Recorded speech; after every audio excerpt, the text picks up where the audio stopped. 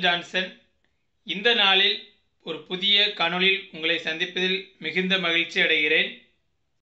இன்னைக்கு நம்ம ஒரு சூப்பரான தகவல் பார்க்க இருக்கிறோம். என்ன தகவல் பார்க்க இருக்கிறோம்னா ராமநாதபுரம் மாவட்டத்தில் பணியாற்றக்கூடிய கிராம ஊராட்சி செயலருடைய பணி விவரங்கள் மற்றும் தொடர்பு எண்களை நம்ம ஆர்டிஐ மூலமாக கேட்டிருந்தோம். அது நமக்கு தகவல் அறிமுறைமை சட்டத்தில் வழங்கியிருக்காங்க. அது குறித்த விரிவான தகவலை தான் இந்த காணொலியில் பார்க்க இருக்கிறோம்.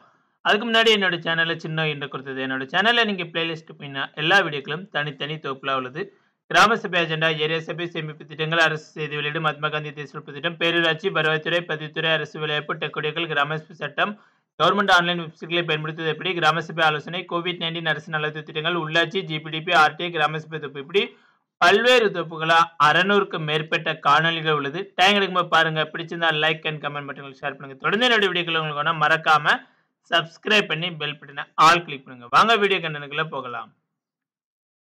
நம்ம தமிழ்நாடு முழுவதும் பணியாற்றக்கூடிய கிராம ஊராட்சிகளில் பணியாற்றக்கூடிய ஊராட்சி செயலாளருடைய பணி விவரங்கள் அவங்களுடைய தொடர்பு எண்களை நம்ம ஆர்டிஐ மூலமாக கேட்டிருந்தோம். ஒவ்வொரு மாவட்டம் மாதிரியே நம்ம நம்முடைய சேனலில் தொடர்ந்து காணொலி பதிவிட்டு வரோம். இன்னைக்கு நம்ம பார்க்க இருக்கிறது ராமநாதபுரம் மாவட்டம். ராமநாதபுரம் மாவட்டத்தில் நமக்கு ஐந்து ஒன்றியங்களில் பதில்கள் கொடுத்துருக்காங்க. மொத்தம் பதினோரு ஒன்றியங்கள் இருக்கு. அதில் மூன்று ஒன்றியங்களில் ப்ராப்பராகவும் இரண்டு ஒன்றியங்களில் கொஞ்சம் தகவல் குறைவாகவும் வழங்கியிருக்காங்க. எந்த ஒன்றியங்கள்லாம் பதில் முழுமையாக வழங்கியிருக்காங்கன்னா திருவாடனை ஒன்றியம் பரமக்குடி நயனார் கோயில். இந்த மூன்று ஒன்றியங்களையும் முழுமையான பதில்களும் போகலூர் மண்டபம். இந்த ரெண்டு ஒன்றியங்கள்லையும் கொஞ்சம் சற்று குறைவான தகவல்களையும் வழங்கியிருக்காங்க.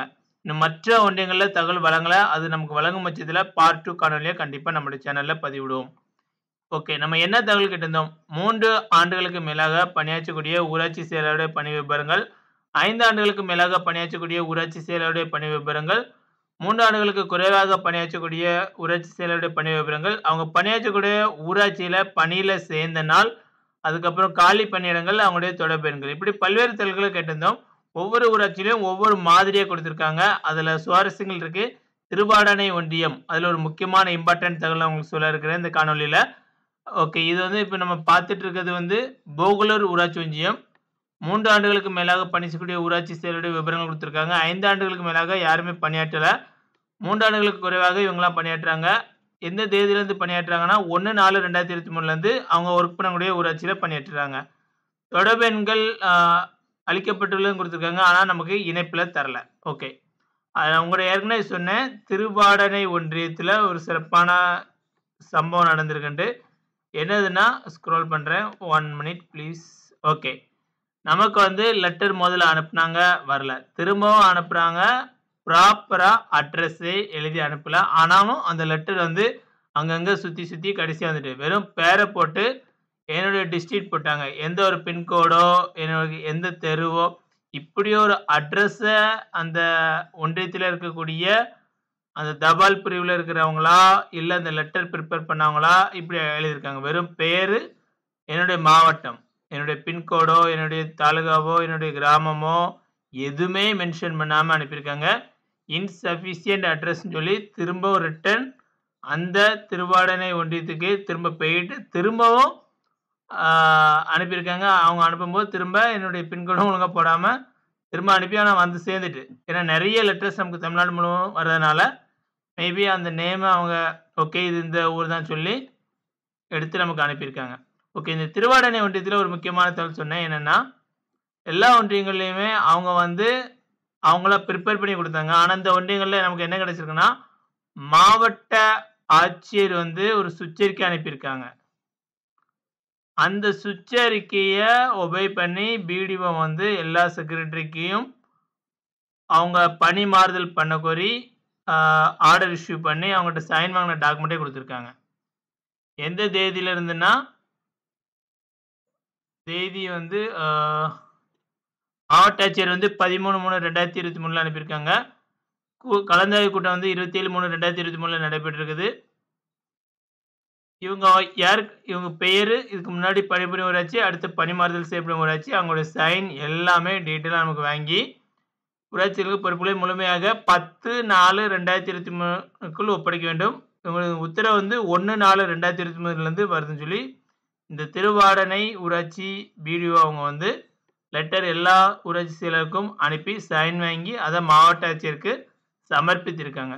ஸோ ஸோ இதுலேருந்து எனக்கு ஒரு இம்பார்ட்டண்ட்டான என்ன தகவல் கிடைக்குதுன்னா மாவட்ட ஆட்சியர் வந்து இந்த ஒன்று நாலு ரெண்டாயிரத்தி இருபத்தி மூணில் ராமநாதபுரம் மாவட்டத்தில் டிரான்ஸ்ஃபருக்கு சில ஒன்றியங்களில் ட்ரை பண்ணியிருக்காங்க அதாவது லெட்டர் இஷ்யூ பண்ணியிருக்காங்க அது ப பணிமாறுதல் நடைபெற்றிருக்கு. ஆனால் எல்லா ஒன்றியங்களும் நடைபெற்றாங்கிறது எனக்கு எல்லா ஒன்றியங்களும் தகவல் வந்த பிறகு தான் தெரிய வரும். இந்த பிடிஎஃப் ஃபைல் வந்து இந்த வீடியோட டிஸ்கிரிப்ஷனில் கீழே இருக்குது.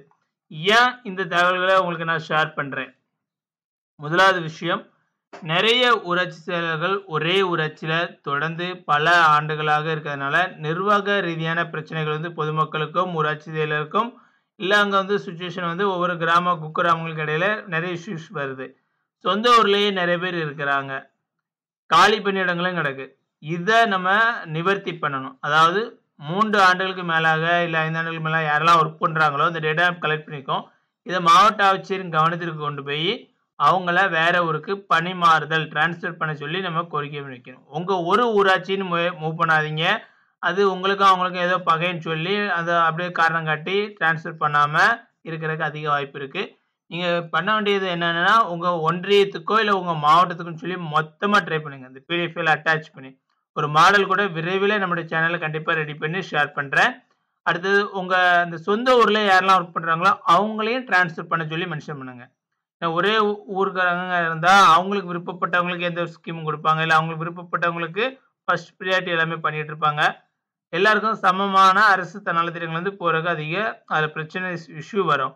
ஸோ அவங்களையும் ட்ரான்ஸ்ஃபர் பண்ணுங்க. அடுத்து மூன்றாவது நீங்கள் பண்ண முடியாது. நம்ம வந்து நம்ம மூவ் பண்ணுறோம் வெற்றி பெறோம். போகிறோம் ஓகே மூணாவது காலி பணியிடங்களை நிரப்ப சொல்லி கோரிக்கை மனுவில் மென்ஷன் பண்ணுங்கள் நான்காவது யாருக்கெல்லாம் இன்னும் சிஇஜி நம்பர் உங்கள் ஒன்றியத்தில் வழங்காமல் இருக்கோ அவங்களுக்கெல்லாம் அரசு சார்பில் சிஇஜி நம்பர் வழங்குறதுக்கு ட்ரை பண்ணுங்கள் நானும் இதை மாவட்டம் வாரியாக மாநிலம் வாரியாக மொத்தமாக எல்லா இதுக்கும் நான் கண்டிப்பாக டாக்குமெண்ட் ரெடி பண்ணி நானும் அனுப்புவேன். உங்களுக்கு மாடலும் ஷேர் பண்ணுறேன் நீங்களும் மூவ் பண்ணுங்கள் வெற்றி பெற்றால் உங்களுக்கு பதில் கடிதம் அரசு வந்தால் அதை எனக்கு தெரியப்படுத்துங்க. கண்டிப்பாக நம்முடைய சேனலில் அது ஒரு காணொலியாக பகிரப்படும். ஏனென்றால் இது ஒரு மிகப்பெரிய மூமெண்ட்டாக நம்ம எடுத்து இந்த டேட்டாலாம் கலெக்ட் பண்ணி ஒரு மிகப்பெரிய மாற்றத்தை கிராம ஊராட்சிகளில் நம்ம ட்ரை பண்ணிகிட்டு இருக்கோம். சக்ஸஸ் ஆனால் கண்டிப்பாக அதை மக்கள்கிட்ட கொண்டு போய் சேர்க்கணும். இந்த பிடிஎஃபிலோட லிங்க் அகைன் சொல்கிறேன் வீடியோட டிஸ்கிரிப்ஷனில் இருக்குது. இதே ராமநாதபுரம் சார்ந்த நண்பர்களுக்கு இந்த தகவல்களை கொண்டு சேருங்கள். என்னுடைய இந்த தகவல் பிடிச்சிருந்தால் லைக் அண்ட் கமெண்ட் மற்றும் ஷேர் பண்ணுங்கள் அடுத்த ஒரு நல்ல பதில் சந்திப்போம். நன்றி நண்பர்களே.